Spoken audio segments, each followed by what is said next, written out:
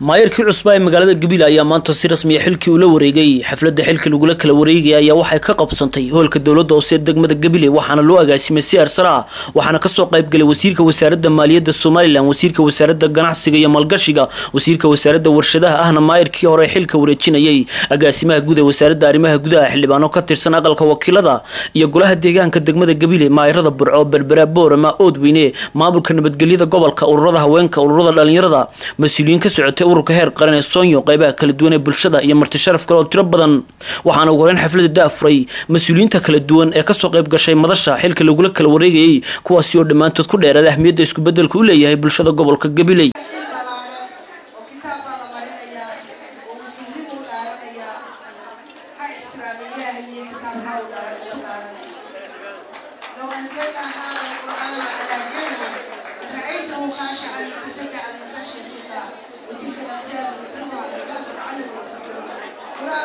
gacanta saaray ee ixtinaan waayey. Waa midh adag. Maxamed amiina waxaan leenahay xilka aad qabatay. Wiilkii uu ibraahim xildhibaanku waa runtii. Wasaarad walba waxay leedahay baji wasiir walba markuu soo baxay shidaalkiisa iyo sahaydiisa wuxuu ka soo qaataa wasaaradiisa. Mitir shidaalaa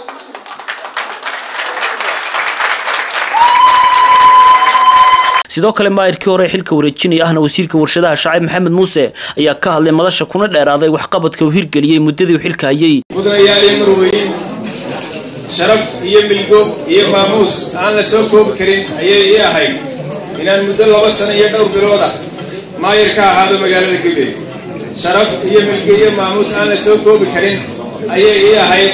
Inaan muddo laba sano ah iyo dhowr bilood madax ka noqdo magaaladii amba gobolkii halganka gobolkii wax soo saarka maayarka cusub ee xilka la wareegay maxamed amiin cumar cabdi ayaa bulshada ka codsaday in xilka loogu duceeyo inuu ilaahay u fududeeyo.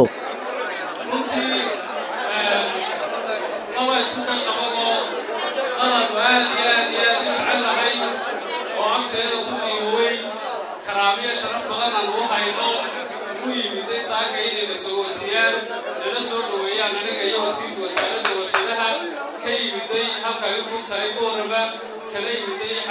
ugu dambeyntii waxaa xafiiska maayarka gabiley si toosa xilkii kula kala wareegay maayarkii hore iyo maayarka cusub ee xilka loo doortay. Si kastaba aatee xafladda tan ayaa waxaa soo buuxdhaafiyey kumanaan qof oo ay ka muuqatay farxad iyo damaashaad kadib marka ay heleen.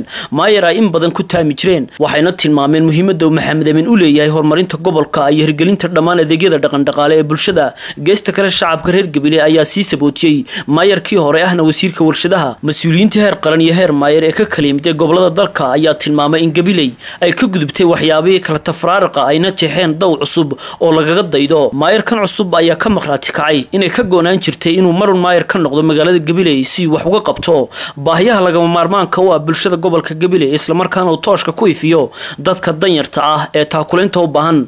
Waxaana la filayaa in lagu diirsan doono maayarka cusub. Waa jacfar cawil hereri shabakada wararka ee gabiley news network magaalada gabiley